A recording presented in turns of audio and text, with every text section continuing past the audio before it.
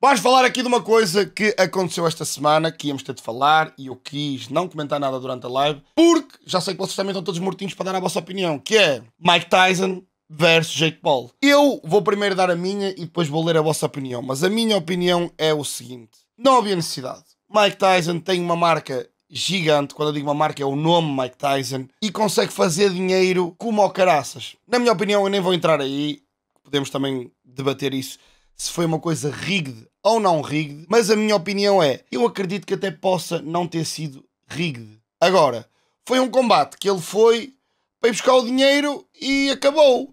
Agora, o boxe é um desporto que, a meu ver, não tenho qualquer tipo de conhecimento de boxe, nem sou um gajo que propriamente vê boxe ou esse tipo de cenas. Mas é um desporto que vive muito dos reflexos, não é? Da malta se conseguir esquivar e era uma coisa que o Mike Tyson era muito fodido a fazer de movimentação. Obviamente, com 58 anos, não, não tem como, é praticamente impossível os reflexos serem os mesmos que eram há, há, simplesmente há 10 anos atrás. Eu acho que o Mike Tyson há 10 anos atrás tinha arrebentado completamente isso, mano. Tinha, era um desfecho completamente diferente. Tem pena quem gastou dinheiro. Olha, eu fui, fiz parte das pessoas finas que no combate anterior, que acho que lutaram, lutaram duas gajas antes do, do combate deles, e eu não vi sequer esse combate, o anterior a deles, vi um uh, antes de, das gajas que lutaram e pá, fui dormir. Fui dormir porque disse, pá, é muito tarde e se calhar nem vai ser nada assim de especial. Há 20 anos atrás, há 20 anos atrás, acho que o, acho que o, o Jake Paul não durava a primeira ronda. Também acho que sim. Pá, mas não há. Pá, o homem está debilitado. Na minha maneira de ver, está debilitado. Não está debilitado para a vida dele normal. Já viram a shape do homem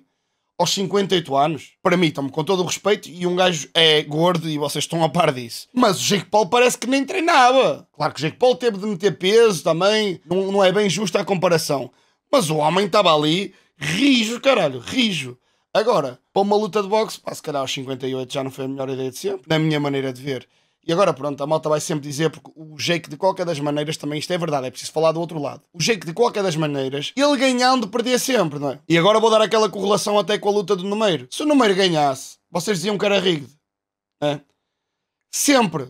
Mesmo que o número ganhasse justamente. E o Jake aqui tinha o mesmo problema. O Jake, se ganhasse, porque o Mike Tyson estava velhote, iam sempre dizer que era rigged. E eu não acredito muito que tenha sido rigged. Eu vi depois os highlights e tudo mais, pá. Eu não, não, não vou para aí. Não vou para aí.